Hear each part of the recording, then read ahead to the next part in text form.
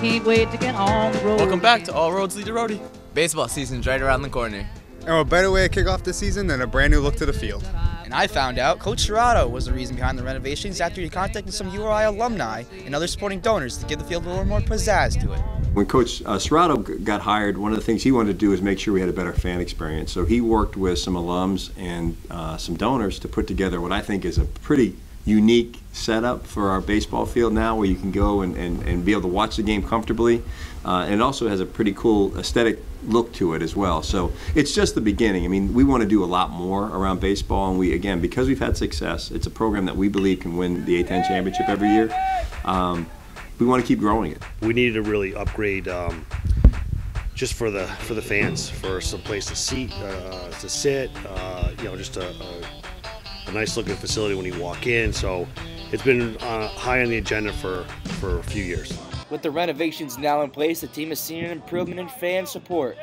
With the spike in attendance, players have seen a new home field advantage that may have been missing in recent years. I asked players Kevin Heiss and Mike Foley what the upgrades from Cerrato meant to them. It means a lot to have Coach Cerrato care about uh, the fans' experience because it helps us in the field. I think last year we had a 15 and 3 record, and last year was really the first year we had a lot of fans start to come. 15 and 3 at home. 15, that's what I meant, 15 3 at home. And uh, so we had a bit of a home field advantage. We had we had like hundreds of fans at some games, and I know my parents come up more because better experience here.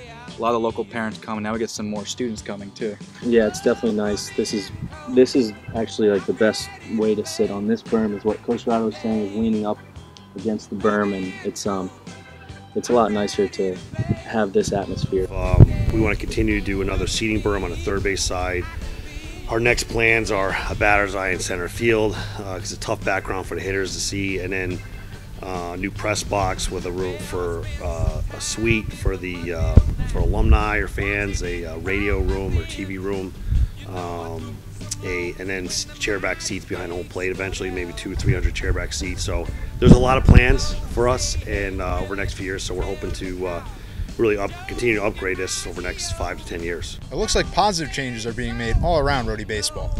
We can't wait to see what's in store for this upcoming season. For more on the baseball team, check out our YouTube channel and our Facebook page on a feature on Tyler Wilson, the pitcher for the URI baseball team.